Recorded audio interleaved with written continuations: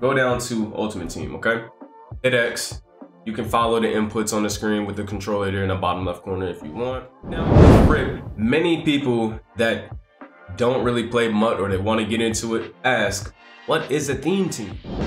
Well, a theme team is basically a team that is created and centralized around a specific theme. Emphasis on the word theme.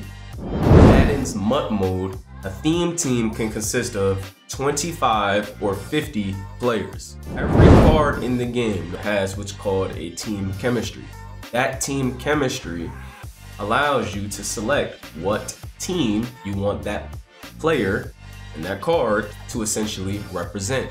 Tyreek, for example, and other cards, you go down here, you hit chemistries, and then you'll see any team that they've played for in their time in being an NFL. I am looking to build a theme team around Tyreek Hill.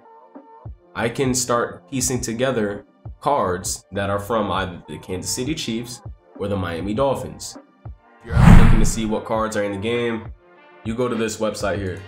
Click players, see all the players, you can sort by position, you can sort it by speed, you sort it by everything, all right? So the theme teams here, you can literally see all the eligible theme teams you can create. If you're a Jet fan, for example, you can click on theme teams and click on the Jets, literally see every card that is possible to earn in the game. You want lineup builder? Just select that, okay? See all this?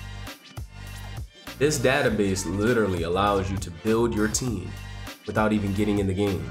So you can actually see what cards you will need in what positions and all of that. All right, these cards, it shows you exactly what you need, shows you where they go and all that stuff. Say for instance though, you wanted to, you know, add in Big Cat for example.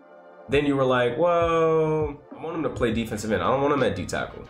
So if you really wanted to get that in depth in your lineup on MUT GG, you click apply team chemistry when out of position. Okay. Then you slide his big ass to D tackle. I said it backwards, but y'all get my point. Made a bunch of theme teams so far this year. I did 25, 25 Jags and Panthers when the game first came out. Eventually I did 25 Jags and the 25 Falcons when the game was, no, I think this was around week one of the NFL. And then I was like, you know what? This Jag shit starting to be annoying. Players then I did that and realized that the DBs were kind of suspect. So I got rid of them as well. Um, and now I am rocking a 25 Chargers and 25 Browns team. This is where MUT separates itself from Regs. MUT is the more creative playground. Regs is more predicated based off of every Sunday, Monday, and Thursday. Okay? Player, extra safety or linebacker you want in the lineup, add them there. You got an extra receiver that you want in the lineup, add them here. You got an extra running back or fullback that you want to use in the lineup, add them here. You got an extra defensive end or D tackle, add them here. Same with a linebacker, they can qualify for the defensive end positions. Add them here. If you had an, have an extra DB, add them here. Real quick, real quick, real quick. I just wanted to highlight one more thing. Theme teams are all NFL team based unless Madden releases a program in the game that they tell you can be dual purposed as a theme team. Campus Hero cards came out earlier this month. Campus Hero cards, some of them like RG3, Bo Jackson, uh, Michael Mayers, the tight end for the Raiders, and some other cards, they get multipliers on their team chemistries as a Campus Hero member. RG3 gets times four. Jackson think he gets times two, or no, he gets times three.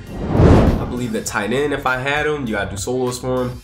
He gets like times four as well, or times three. Keep all of this information in mind. I know it was a lot. Save this video, share it, hit me up for any questions. Keep it recycling, like and comment because it helps the video circulate in the algo. Trying to help y'all understand how to create a true theme team like a pro because a lot of motherfuckers don't want y'all to know some of these secrets. Be easy, yo.